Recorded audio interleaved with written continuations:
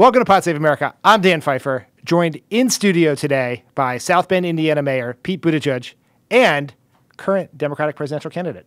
Thanks for having me. Thanks for being here. All right, let's start with the question of running for president. I'm always fascinated by how people come to the decision to run. What went into your thinking to do that? I mean, the way I see it, you, you look at the office and what it calls for uh, any office, and then you look at what you bring to the table, and you see if there's a match. And that's over the course of my life.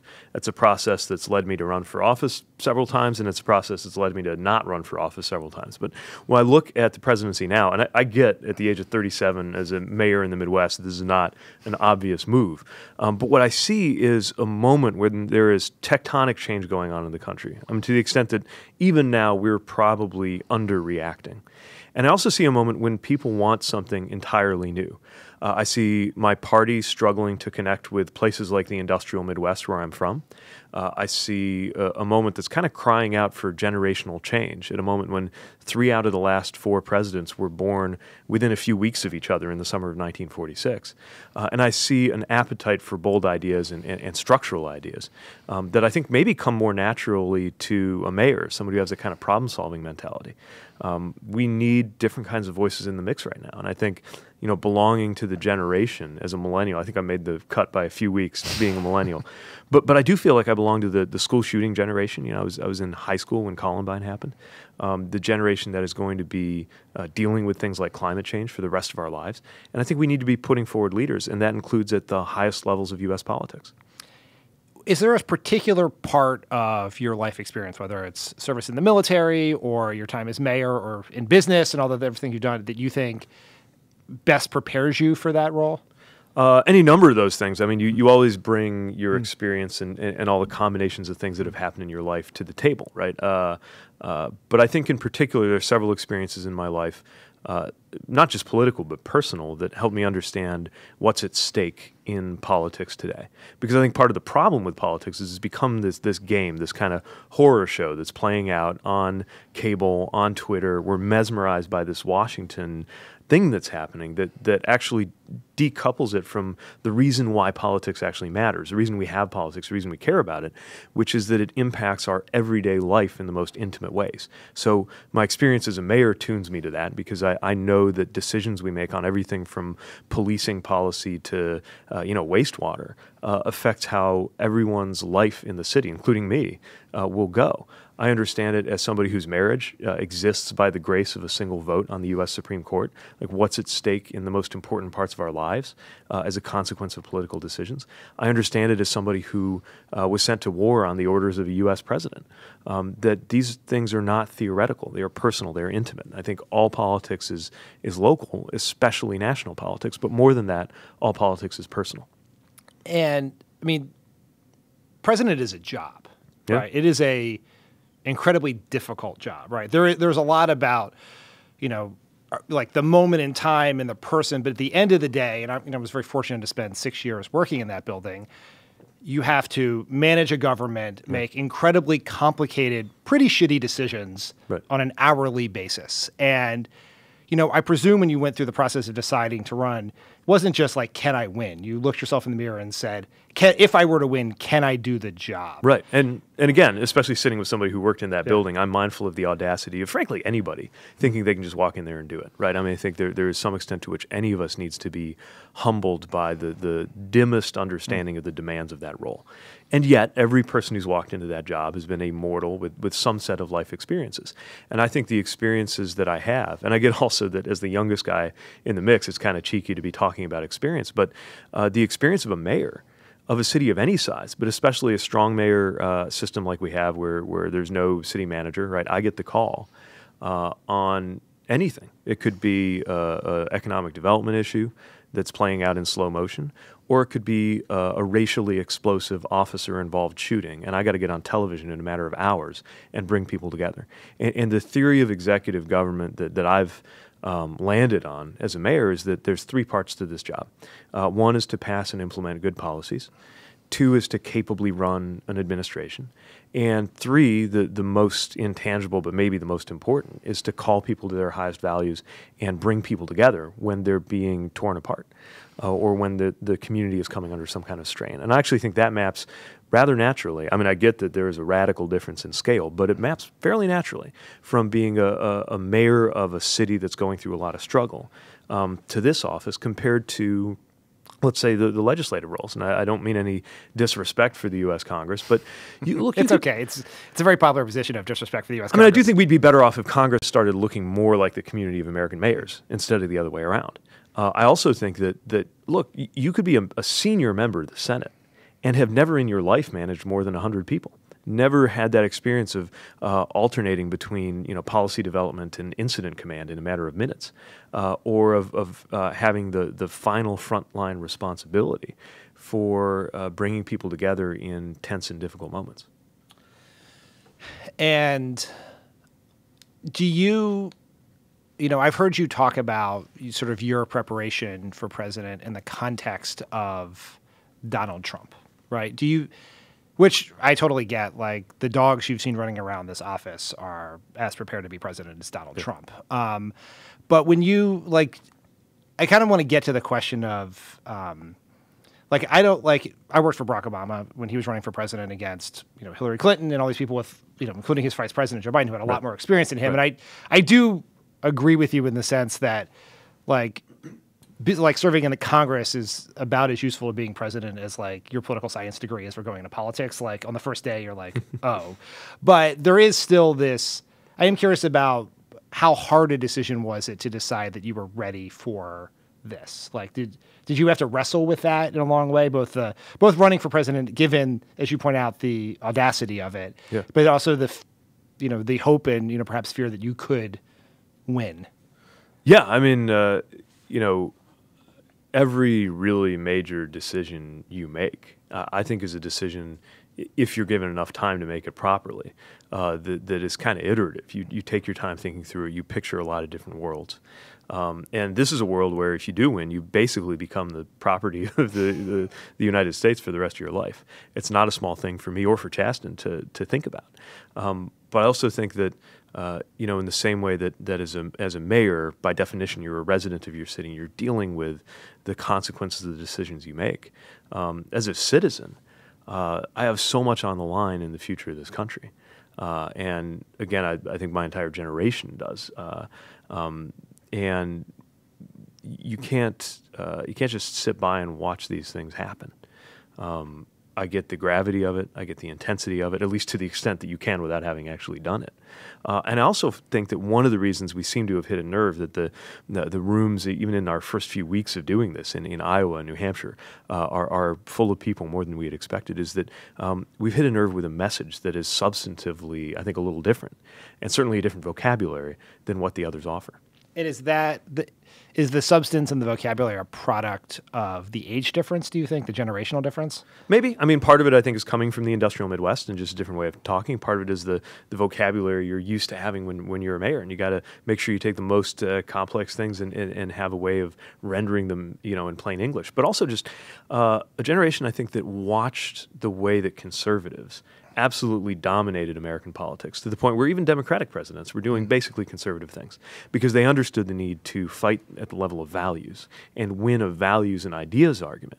And on our side of the aisle, as much as we like to think of ourselves as the intellectual party, the truth is, I think our policies were less connected to our values and our philosophies than theirs were. Uh, we developed a vocabulary of policy you know, we explained who we were, and, and, and candidates and races kind of fought to impress each other through a policy arms race without ever really engaging on the values issue. And that's how I think we lost the debate over freedom and what freedom means in this country. Uh, you know, to, to the point that uh, I think the, for years it was viewed as, as kind of pro freedom to be anti government, as though freedom from government was the only one that mattered. When, you know, in my life, you know, my freedom was enhanced by uh, a lot of things that happened in the Obama administration that were the consequences of good policy. I'm freer uh, because uh, because of the freedom to marry. And if you take it back over a 50 year period, my family experienced a lot of freedom because Medicare exists. And, and, and when my parents were having health issues, we were free to think about what was right for them medically, not who's going to pay for it. Um, so big arguments like that that we just for some reason sort of stopped having sometime in the 90s when we figured that the way to win was to just check on their policies and see if our policies could be halfway there versus thinking about how our policies linked up to what we our core values and what we believed in I think that's a good transition to sort of a conversation about what you would do as president, right? Mm. And so, like, it is easy in a presidential camp, not, not easy, that's the right word, but it is in a presidential campaign, people are going to ask you, like, are you for X? Are you for right. Y? Are you for Z? And you, you answer that question, you fill out a questionnaire, you put out a white paper. But if you were to win, right, the question, there's a huge question about prioritization. Right. Right. The, you will, the easiest bill you will ever pass, and it may not be that easy, will be the first one, right? That like that is when you have the most political capital, you have mm-hmm. the most wind at your back. Have you thought about what the first thing you would, the first legislative endeavor you would take as president would be?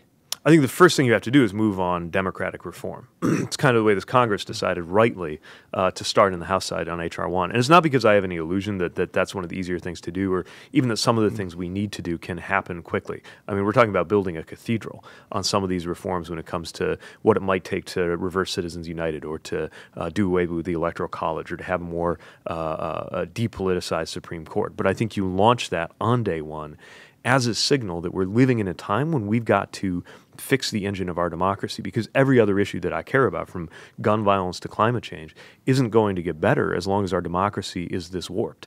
And I think our country has lost the muscle memory of how to handle structural reforms, which is odd because 40 years ago, you had uh, people like Senator Birch Bayh from Indiana, you know, not exactly a, a far out kind of guy, but authoring constitutional amendments right and left you know, the 25th Amendment, which might come in handy one day, um, uh, changing the voting age, uh, also things that didn't make it through, like electoral college for- reform, which I'm still for, uh, like the Equal Rights Amendment. But they were doing these things because they knew that we needed to work on the, um, the, the very basics, the kind of bones of our democracy in order to make anything else go well.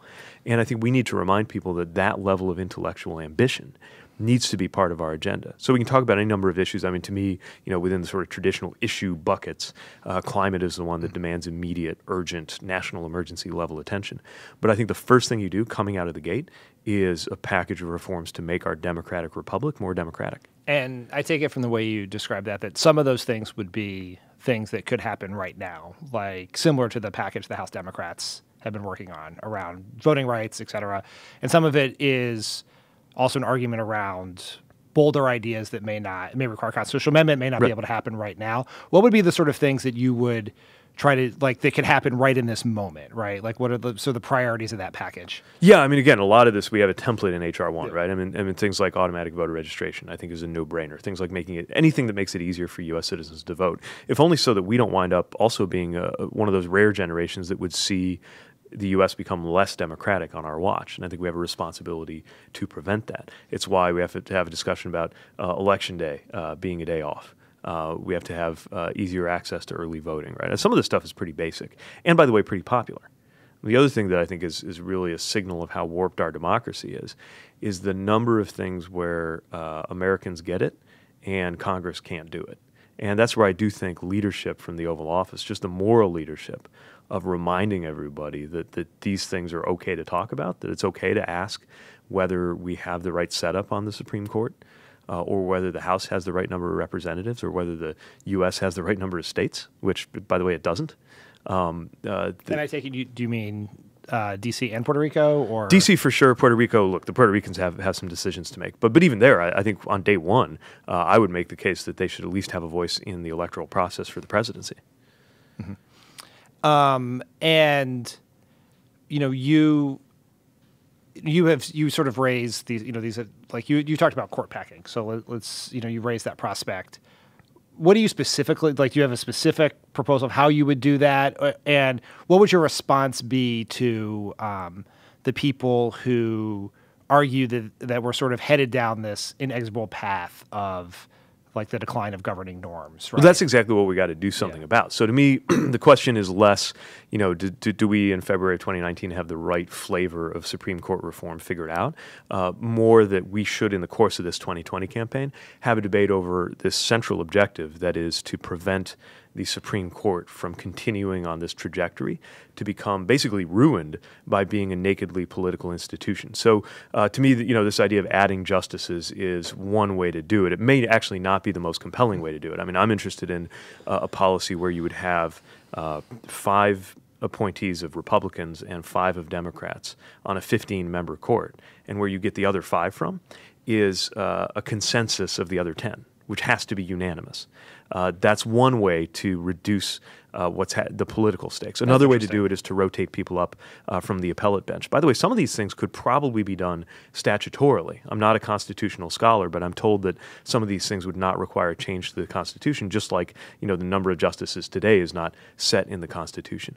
Uh, the point is not do we court pack, do we not court pack. Uh, the point is what do we do to stop this from becoming a political institution where every time there's a vacancy, you have this apocalyptic ideological battle that makes the court and the country as a whole worse off. In even under the most uh, optimistic electoral scenario, the next Democratic president, uh, yourself, for instance, uh, would is going to have a Democratic House with a with a majority maybe similar to the one we currently have, and a Senate majority of one or two votes, right? Yeah and which as long as the filibuster is still in place means that besides the one bill a year that you can do under arcane rules under budget conciliation, you're going to need 60 votes to do anything. Would you urge uh, the Senate Democratic leader to get rid of the filibuster? I think we have to have that on the table. Uh, I mean, I think that's a conversation you definitely want to have with uh, the, the, Senate leadership. But uh, look, our sense of fair play as a party has come back to bite us so many times. Uh, and at the same time, we can't become the thing that we're fighting. We can't emulate uh, the the current uh, majority leadership, which I think views uh, all of what's going on in politics strictly as an exercise of power. It's one of the reasons why what I'm trying to do is return the focus of our political debate to everyday life and the impacts on it. And I think uh, we can see very clearly the effectiveness of that strategy in what happened with the ACA. You know, I was running for statewide office in Indiana in 2010. Um, that sucked because we were getting absolutely destroyed over the ACA, right?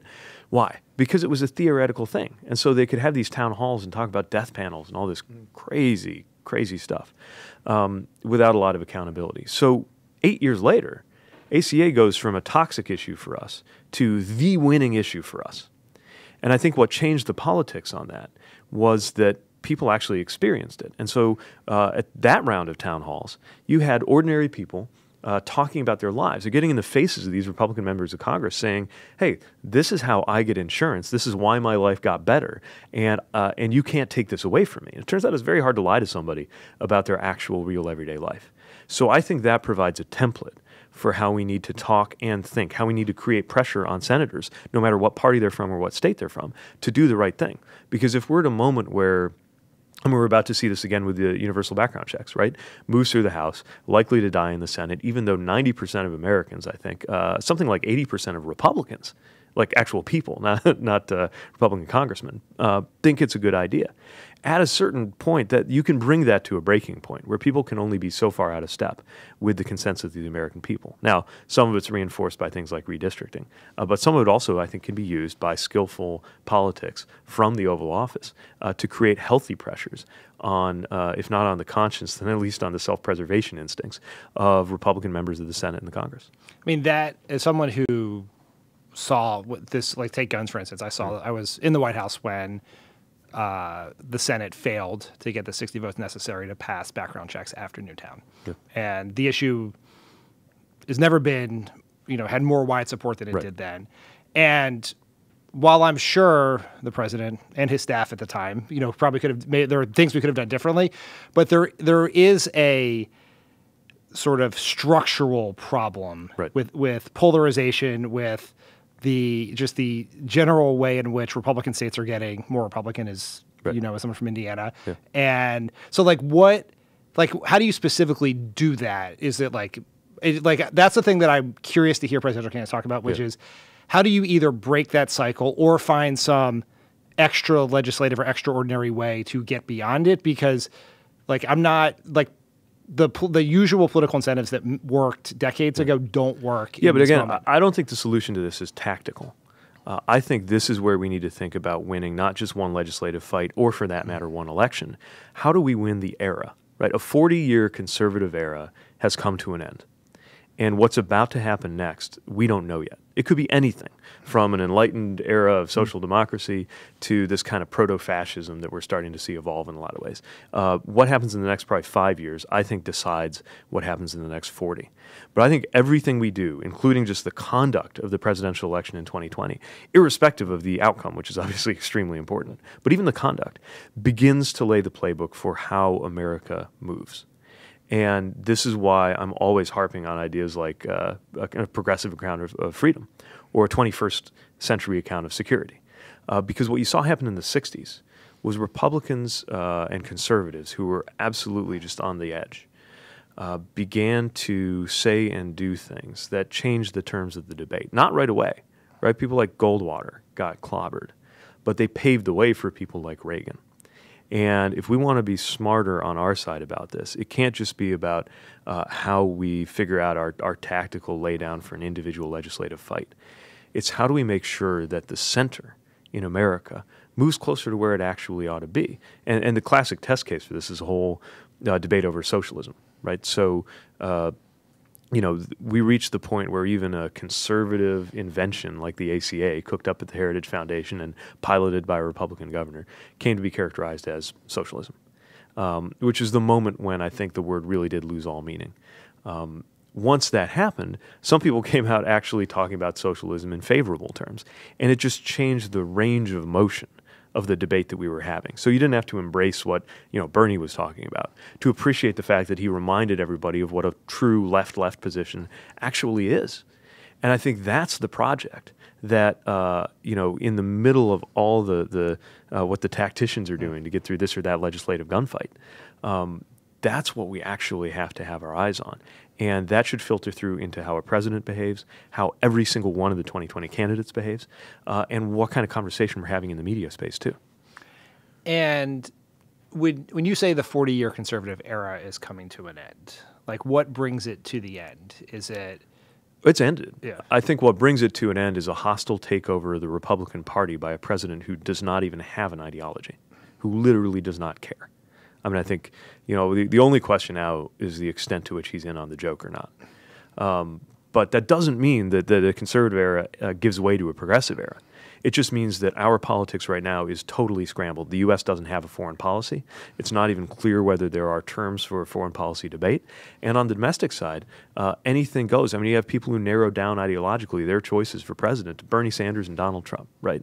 We're at a moment where it is just completely beyond what uh, the old left center right mm-hmm. map or the Democratic Republican tradition can explain. And we've got to recognize the seriousness as well as the sort of fertility of that moment to craft a new politics that's actually going to make sense for the next 50 years.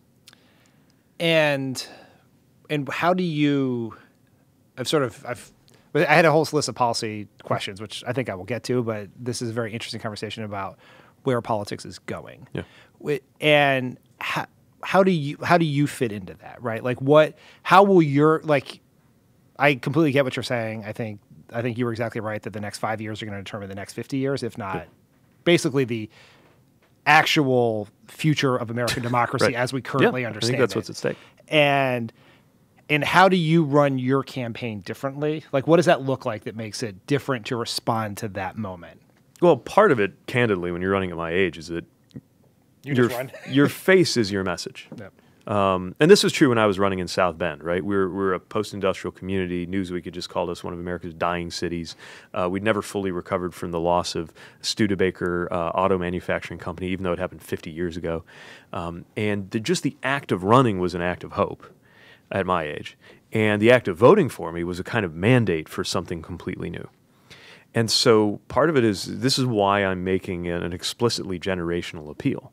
Not only a generational appeal to try to get people my age and younger uh, to buy in, uh, to see themselves represented, but also to get people my parents' age and older uh, thinking about the possibilities of, of really investing in the future of, of people they love and people they care about. It's why I talk a lot about what the world's going to look like in 2054 That's the year I get to the current age of the current president, um, because it situates our thinking on a longer term plane. In many ways, I think the most important debates of our time uh, aren't so much left right as long term versus short term, right? So there's a short term gain for some in uh, in these tax cuts. Uh, there's a short term benefit or at least ease to pretending climate change will take care of itself. Um, but these are things you would never do, even on foreign policy. There's things that we're doing now that you would just never do if you viewed the state of the world in 2054 as your problem and not somebody else's. And so, uh, before we get to the guts of the policy proposals, um, even before we get to the kind of settling on our political rhetoric for the next few years, I think we need to get to that project of asking people to think about decisions uh, through the lifetime of those decisions, uh, and and uh, pointing out that that this is going to affect our lives, our lives ourselves, in ways that are beginning to show themselves even now. Do you think the um, the older Democrats who are running, you know, people I think we all like, like mm-hmm. Bernie Sanders and potentially Joe Biden, um, do they inca- like like incapable of thinking that way, or like what? Like not necessarily. Yeah. Uh, I mean, I think. Uh, uh, you know anybody at any age can can think long term or can think short term, right? I do think that somebody uh, from a younger generation has a certain kind of standing just like the fact that I served overseas in, in a war gives me certain standing to talk about uh, a lot of veterans issues and military issues. Um, that helps bring these issues to the surface. But one of the things that's really been interesting in uh, you know the, the, living rooms and the, and the uh, venues that I've been speaking in, in Iowa and New Hampshire uh, is the interest that older voters are taking in the idea of a younger candidate. In the same way that in 2016 you had a lot of uh, very young voters gravitating toward one of the oldest candidates.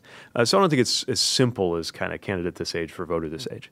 Um, but I do think that my presence invites people to think about those longer term issues, especially since that's also uh, a big part of the message that I'm trying to bring forward. So as you know, you talk about climate change, right? Mm-hmm. And it's a very, I think it's a very compelling part of your message and, uh, and, an argument for you know someone who's going to have to live yeah. in this on this planet. You'd like uh, you like it to be here um, long after some of the some other folks won't.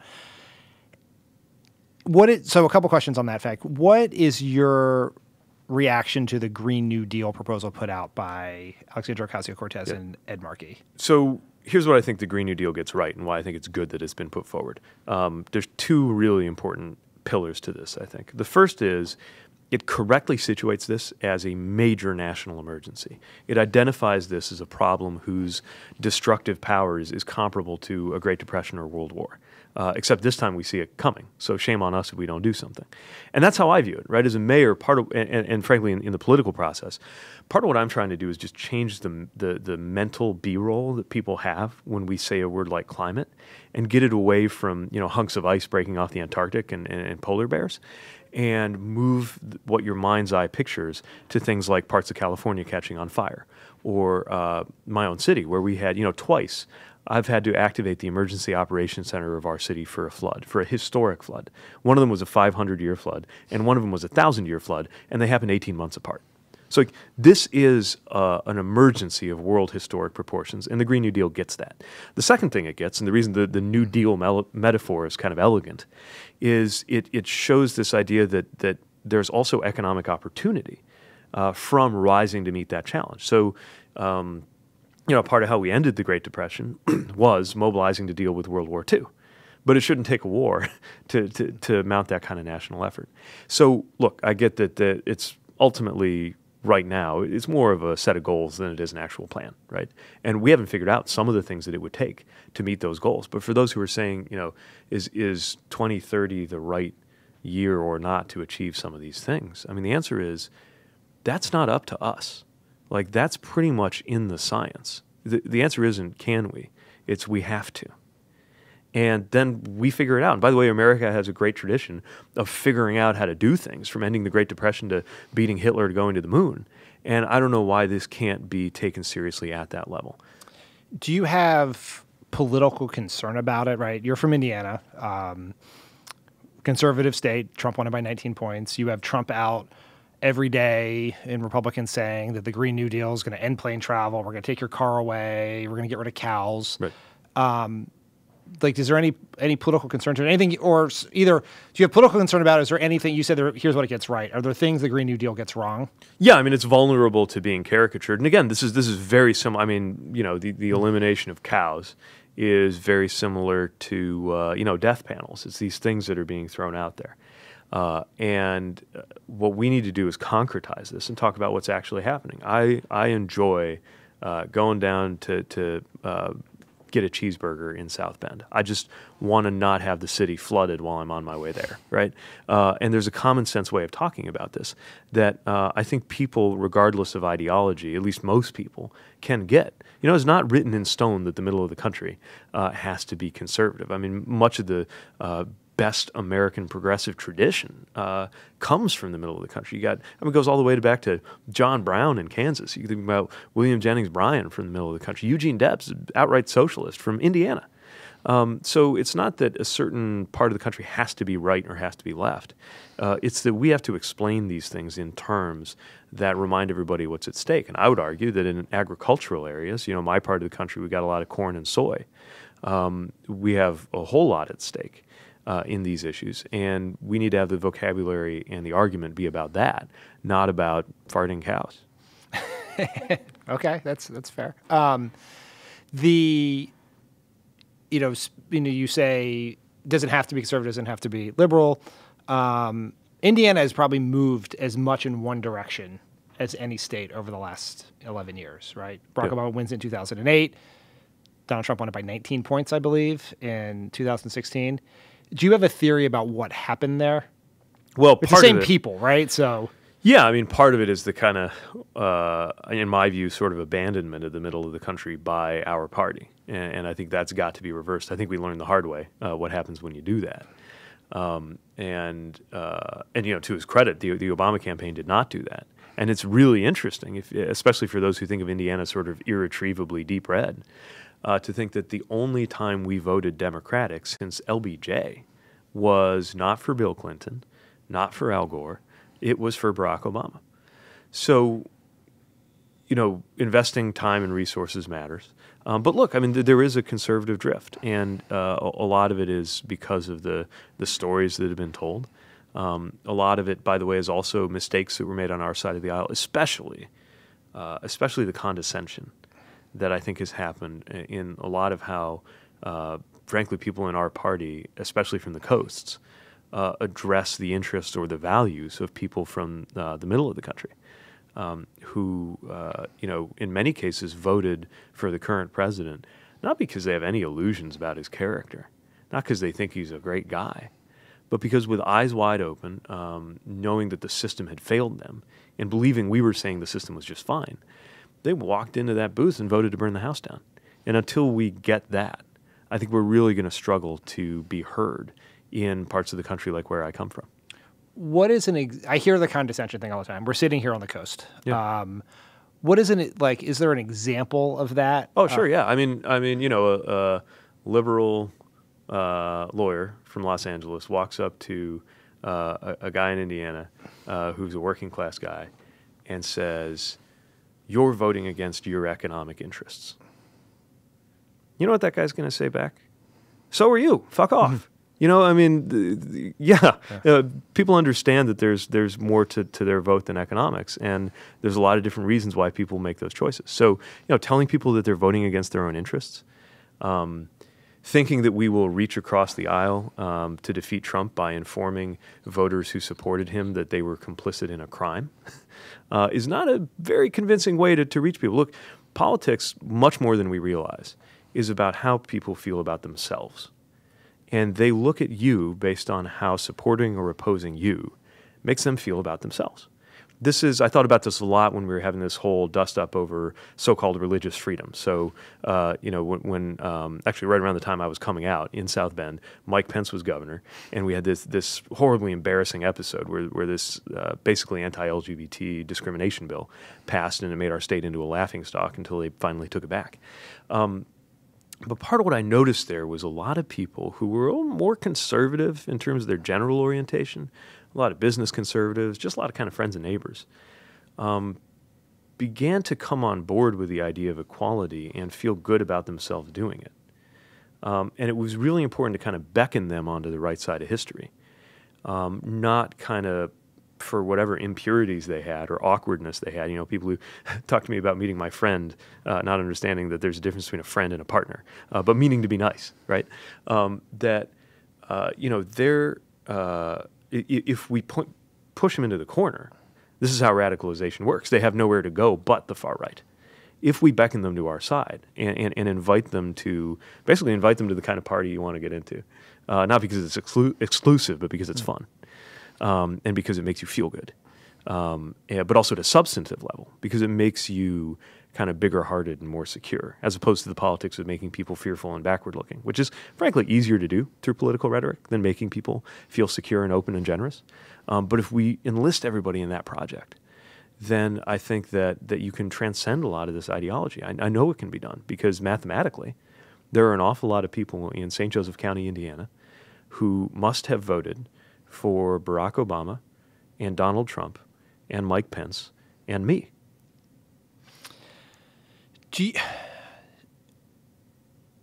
to get those voters back, right? Yeah. There's like you you make very good points about not being condescending, about reaching out, about trying to understand what brings them to their decisions in a way that is empathetic, not mm. dismissive.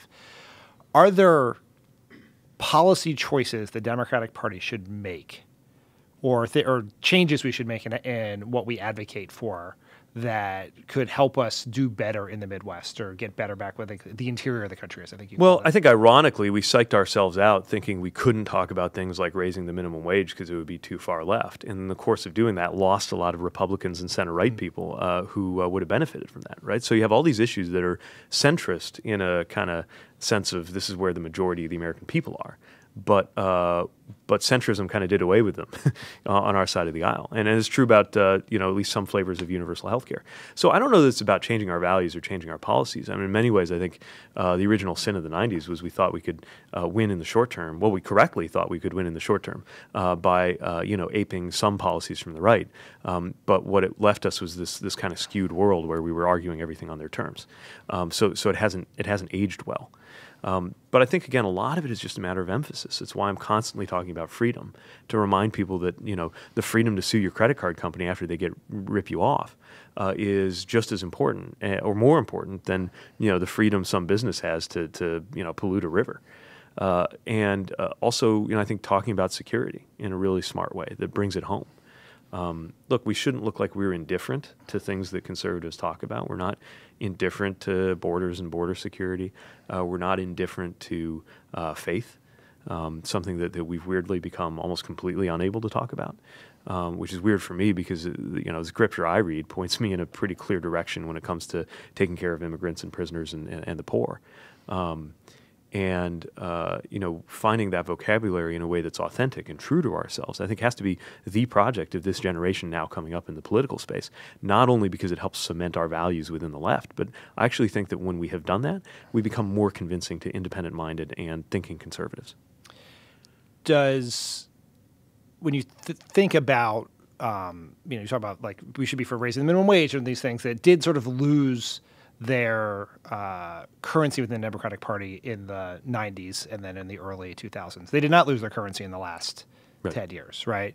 And the ACA was an aggressively progressive, was the most progressive healthcare bill that could pass at the time.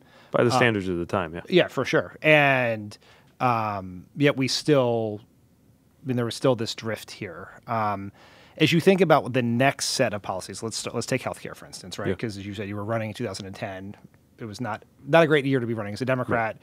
both because of the state of the economy, but also because the Affordable Care Act was being demagogued uh, up and down the ballot. Um, there, the you know, it's sort of the almost table stakes for Democrats is some position somewhere on Medicare for all. Mm-hmm. Um, you know, where are you on that, and uh, how do you think about in the context of you know winning back these voters you're talking about? Yeah, I mean, again, I think voters I know just want to know that they can get health care right? And uh, Medicare for all is the right direction to move in because it represents a more efficient system. I mean, countries that do this are more efficient than we are. So it's not just because it's not because we just intrinsically like the idea of this being handled uh, by the, by a public uh, effort instead of by corporate uh, America. Um, it's that we believe it works better. It's that you would pay less on bureaucracy and more dollars would go uh, to patient care. Um, you know, the, the reality is people say, how are you going to pay for that? How do you think you're paying for healthcare right now? If you're uninsured, you're paying too much. If you're insured, you're paying too much because way too much of the US healthcare dollar goes into administrativia, not into patient care. Now, honestly, not all of that is fixed by Medicare for All. There are a bunch of problems in Medicare right now that are more technical that need to get sorted out, like uh, the number of times some of these authorizations have to get touched by a human, which should be 0 mm-hmm. um, but but that's not the answer right now, and there's a cost to that. Now, I also think anybody anybody in the 2020 conversation who lets the phrase Medicare for all escape their lips has a responsibility to talk about a pathway there that makes people better off along the way and not worse off. And to me, the way you come at this is uh, what I would call Medicare for all who want it. So the idea here is you you take some flavor of Medicare, you make it available to buy in on the exchange as a public option. And then if people like me are right that this is a more efficient system, it will be preferred. I mean, it will, it will give you better care at a lower cost and more and more people will want to buy into it. Uh, so I guess it gives the corporate uh, players one last chance to somehow come up with something better. Uh, but if they fail to do so, as I expect that they will, then what will happen is it'll be a very natural glide path to a single payer environment. And by the way, even in a single payer environment, uh, there can still be a role for the private sector. I mean, just think about how actual Medicare has private supplements alongside it, right? And even um, even in countries uh, like the UK that are outright nationalized, which is a step beyond uh, a big step beyond something like single payer. Even there, there there's a kind of ancillary private market for for healthcare. Um, but in the end, in the end, I think we need to create that glide path, and I think it will work.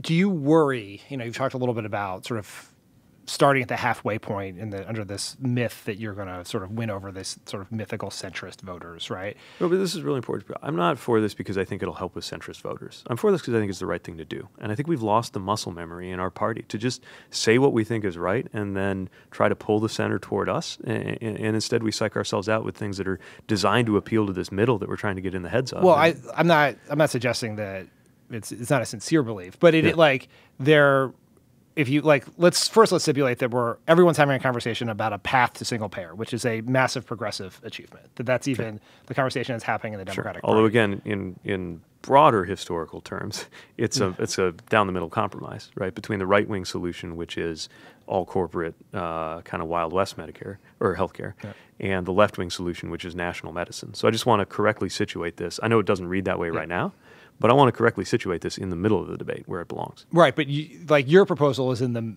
is in the middle of the Democratic debate on it, right? Between where Bernie Sanders is and I think Kamala Harris is, uh, and maybe Elizabeth Warren, these people who've endorsed the Sanders bill. Yeah. And then there's the buy-in proposal. There's been a couple of Democrats who've said that that's the best way to start, including yourself. I think uh, Sherrod Brown, where he to run, and a few others have started yeah. there. But do you worry that if you start there, mm-hmm. you end up somewhere short of that, right? Like, were yeah. you like if your negotiating position is the ideal position or the fallback position that it gets harder to achieve that. Like the argument that I think a lot of the senators who endorse Sanders bill is, yeah. let's start there and see what we can get, right? And we're going to negotiate. That's, a, that's a matter of legislative tactics, yeah. and I'm all for that. You know, if I'm, I'm sitting in the office and we're thinking about what draft one of the bill looks mm. like, uh, maybe we make it as far out as possible so we can have a healthy negotiation. But again, I think we outsmart ourselves as Democrats by being way too tactical when we forget that uh, you know if I'm having a conversation with uh, with my in-laws who are uh, intelligent people with a with a mom and pop business in, in northern Michigan who do not follow the blow by blow of policy debate, um, they just want to know they can get health care. Um, uh, they they will find a lot of this reasonable uh, if we discuss it in the right way. Um, but we're so preoccupied with finding the center of the American uh, kind of policy elite that we forget that the center uh, of the American people is often further left than we think, A, and B, um, can be moved.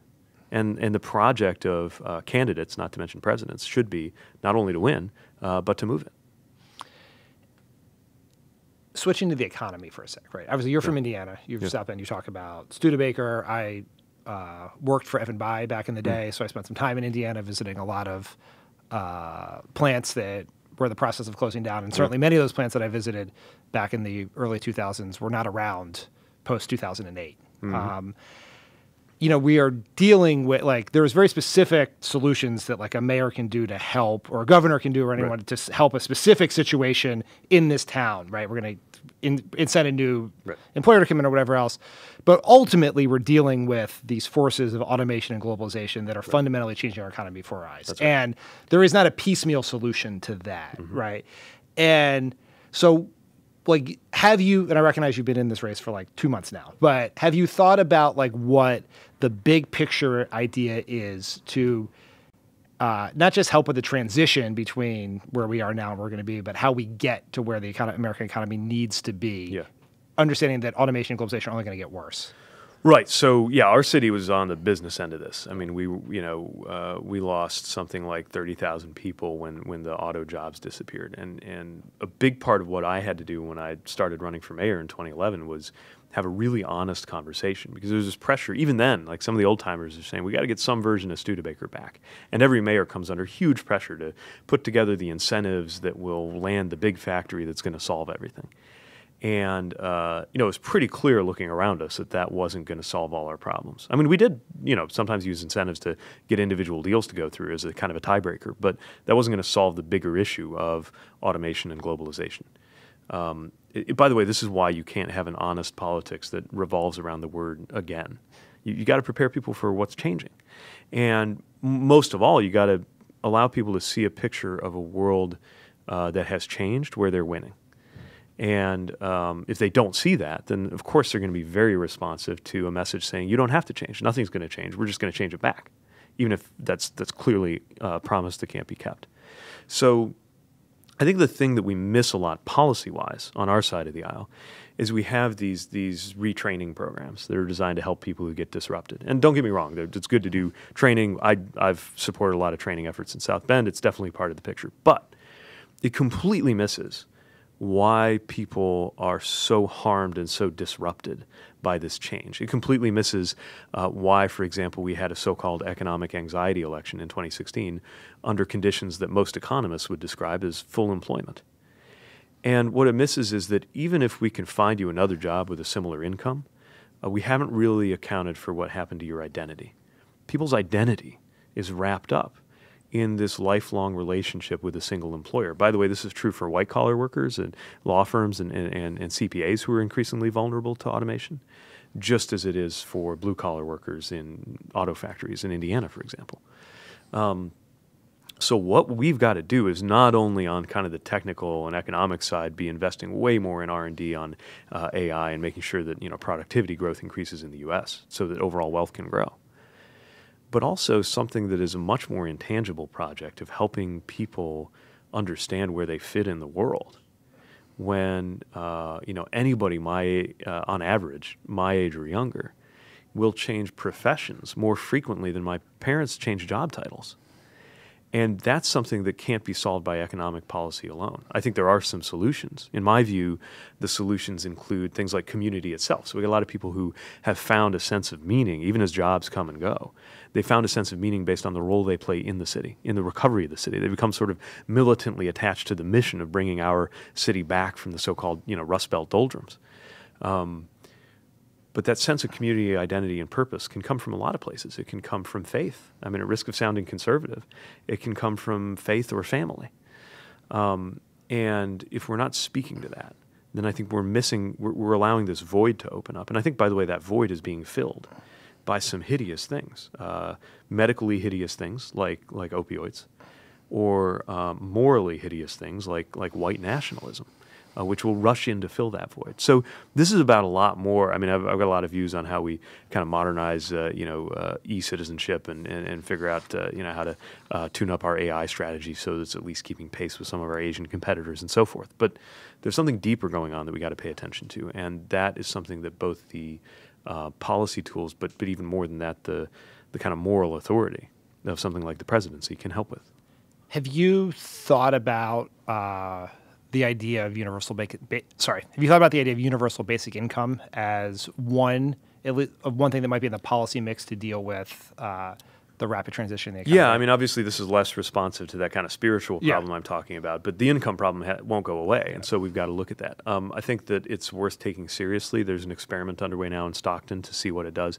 I know there are many times that we've been sitting around the table working on some kind of elaborate policy contraption to do something like boost third grade reading levels, uh, when a lot of evidence would suggest that by far the simplest and most effective and cost efficient way to do it is just give the family a little more cash. Because it turns out not being poor is one of the best things that can help you uh, make it to, to third grade reading level because of nutrition or stability or whatever it is.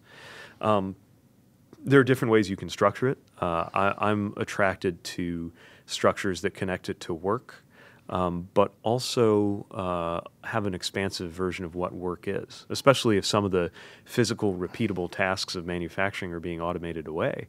Let's give a little more regard to things like caregiving and uh, you know raising children that are absolutely work. They're just not uh, in the formal kind of economy uh, the way that they're traditionally being compensated. So I think with a richer and thicker understanding of what work is, some kind of relationship between a guaranteed income and work, and some kind of structure that makes it equitable, but which might be along the lines of uh, expanded tax credit or even the negative income tax idea that first got floated in the 70s. Um, I think that uh, I don't know that anybody uh, can say now that they have a fully informed, considered opinion on this, but I think it's the right moment to have that conversation because it is something that's responsive partly to this this issue of automation, which is, uh, as you say, only going to accelerate. There's no, you can't get the the horse back into the barn on this one, and, and we shouldn't want to, right? If we get it right, I mean, if we get distribution right, if we get society right, this should be a really good thing. I mean, it means that society can make all the goods and services it needs with all of us working less. The problem, of course, is that as that's accelerated, uh, we haven't all been made better off, and it's one of the reasons why, even though there's a lot more, this is a lot more related to automation than it is to trade.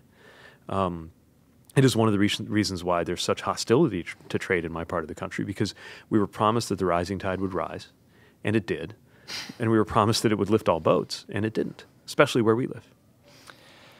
All right, let's let's transition to what the kind of campaign you'd run, Okay. right? And one of the biggest decisions that any candidate has to make is, particularly when running against Trump, is what what's the case you're going to prosecute, right? Because Yeah. the challenge we had in 2016, at least in my interpretation, is there were hundred arguments against Trump, all very true and Right. and damning. But if you tell hundred stories, you tell zero stories. So Exactly. have you thought about like if you are in there making making the case for votes, like what like what is your argument for why you, not Trump? I think the less about him, the better. So I think when he, he lies, we got to correct it, and when he does something wrong, we got to confront it, uh, and we got to say like, hey, I think we can all agree this isn't working out. and I've got something better.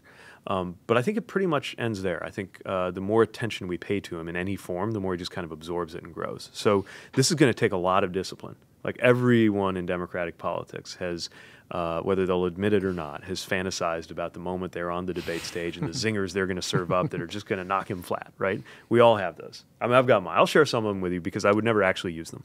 Um, but I would, you know, it, it would satisfy some deep itch uh, uh, to be able to say, look, the difference between me and this guy is, you know, I'm faithful to my spouse. Uh, when it was my turn to serve, uh, I did not fake a disability uh, in order to get out. I went. Uh, and I look people in the eye when, when I'm hiring or firing them, right? Like that would that would my lizard brain enjoyable would for enjoy it. But that's actually not what we need to be doing because the moment you're you're playing that game, you're playing his game, and it all it creates this framework where uh, it's almost as if he's the one we're trying to impress, and we need to get out of that. We need to get back into a world, and it's one another one of the reasons why I talk so much about what the world will be like in 2054 because he said himself of, of like when for example his tax policy the bills on that come due he literally said i won't be here. And we need to prepare people for a world where this president and this presidency has come and gone but also be responsive for the problems in our economy and the problems in our democracy that made this presidency possible. Because I, i'm starting to think if it wasn't him it'd be somebody else. This is a symptom of much deeper problems. A presidency like that and yeah i know he cheated popular vote whatever but somebody like this does not get anywhere close to the highest office in the land unless there are profound issues in our democracy and in our economy. We got to be responsive to those and talk about them in a long term uh, picture where, frankly, people like him are going to get left behind. And uh, the sooner we're talking about that world and the less we're talking about him, the better off we're going to be. you wrote a this is sort of an amazing thing I learned the other day, but uh, at a young age, you wrote an essay about a politician. You had to pick one, Yeah. and you picked Bernie Sanders, which is amazing on many levels. Uh, one of which being just at the moment in which you wrote that, Bernie Sanders was not a famous person. Yeah, I feel very hip. I, Yeah, I knew about him before he was cool. and, but now you are running against Bernie Sanders. So I'm curious about what drew you to Bernie Sanders. I think a lot of people at that time would have written about someone like Paul Wellstone or uh, there, were- there were sort of other progressive icons. So you, you made a very specific decision to pick this lesser known independent Democrat who identified as a democratic socialist. Right. And now you're, you've made a decision knowing that he was likely going to run to run against that same person. So I'm curious about how that all came about and what you think about it now. Yeah, I mean, the fascination to me when I was 18 and entering that, that essay contest was that here was somebody, it's this moment when everybody else seemed like they were able to kind of outgrow their values in order to win. Here was somebody who really just said what he was for, and he didn't seem to care as much about the politics of it. Um, and, you know, you had this word socialism, which even more than now, much more than now, 20 years ago, was a pretty much a kill switch on a policy or a career if it got credibly thrown at you and he was just running with it. He just owned it. And so I felt like you didn't have to agree with him on everything to to really admire the um, the straightforwardness and the courage. And then the other really interesting thing about him was, you know, he was from a state that that was not, you know, the leftmost state. Um, and it was actually somewhat effective in the House at working with independent or with Republicans and it, it showed that there's more to working with Republicans than ideological centrism. Uh, so all of those things were appealing uh, then. All of those things I think are still appealing uh, now. I think they're part of his appeal. Um, so it is a strange thing that I absolutely would not have pictured then that, that I'd wind up, uh, you know, potentially competing with him. Um, but I also think that, um, first of all, I'm glad he's in the picture. I, th- I think it, you know, represents a real important uh, way to establish kind of what the terms of the debate are. Um, but I also think in the end, I have, I have a somewhat different message, and I'm obviously a very, very different messenger. I wonder if you had done odds on what was more likely when you wrote that essay that Bernie Sanders would be a front runner for the presidency or you'd be running for the presidency. it probably wouldn't have been about the same. Yeah. Yeah. Yeah. There's no way I would have guessed that I'd be in this situation or him. Are you having fun out there campaigning? I am. It's really fun. Um, not, I mean, it's hard. it's, it's very demanding, very difficult, but um, getting to know people and I mean, it's hard to say this without sounding like I'm just bathed in cliches, but really it's true that like getting to know people in their living rooms and going to different communities and understanding what they care about, uh, it really kind of helps you grow. It really extends you. And, and I feel like Chasten and I are, are making friends everywhere we go, but also uh, really expanding our life experience to understand, you know, how other people are affected by politics. And, and it just kind of enriches this, you know, my whole account of why politics is, is important is because of what it does to us in the everyday. And so you, you get to peek into all these people's everydays um, and, and understand why they care. Um, uh, you know, the, the travel is exhilarating as well as exhausting. Um, and I also think that this particular moment is a really, really important moment. It's a formative moment. As you say, I mean, the, the, the future of the Republic might hang uh, on some of the decisions that are being made. And it's not just the election outcomes, it's the conduct of these campaigns. This is the most important conversation in the world right now. And I've got this enormous privilege uh, uh, of, of being in the middle of it. And uh, you know, how can that not be compelling and inspiring? We'll close on this. Like you have mentioned your husband uh, a number of times. So you mentioned the ability, your ability to get married uh, due to a Supreme Court decision that happened while Barack Obama was president. And we've had a number of groundbreaking campaigns on the Democratic side, at least in the last few years. You know, obviously Barack Obama's first African American president, Hillary Clinton is our first female nominee. But we shouldn't it shouldn't go without noting the historic nature of our first openly gay presidential candidate. And have you thought about what that would mean to the country, to LGBTQ youth around the country? Just A, the fact you're running, but B, if you were to win. Like, how do you think about where you fit in? Uh, and I know this is sort of a daunting task, and Yeah. Barack Obama had to wrestle with it Yeah. too, but where you fit in sort of the sort of the civil rights history here. Yeah, I mean, I've actually drawn a lot of lessons from the way that, that Barack Obama handled the historic nature of his candidacy. Um, and uh, I'm conscious, I'm a, I'm a bit torn because part of me thinks what success looks like. Is a world where it never comes up uh, and it's not newsworthy, right? I thought about this when I was coming out. I was thinking, you know, straight people don't have to come out. Like, why, why do I? And and you know, shouldn't it just be that I like show up at some event and my date's a dude and everybody puts it together and nobody cares? um, and some parts of the country, I think it's we're probably there, but that was not the case in Indiana under Mike Pence, obviously. Um, so I think that's the destination, but I know that we're not there yet. Um, and when I think about, or frankly, when I hear about um, or, or meet um, people who let me know, usually young people who, who let me know what it means to them, or older people who never could have pictured this. And being right in the middle of that generationally, you know, um, I'm young enough to, to, to know that, that there's a world, a possible world where it's not even a thing. But I'm old enough that, you know, when I got into elected office, I mean, which is not that long ago, it was a given in my mind that you could either be out or you could be in office, not both just as when I joined the military, it was law that you could be uh, an officer in the military or you could be out, but not both. And so to see that change and to think about what it means uh, for young people who are really struggling with their sexuality uh, or with their gender identity, um, which is, is not something I've experienced, but I, but I think um, uh, you know can also relate in some ways. Um, that I'm aware of, of, of, the responsibility that comes with that, and also the the um, potential to really do a lot of good.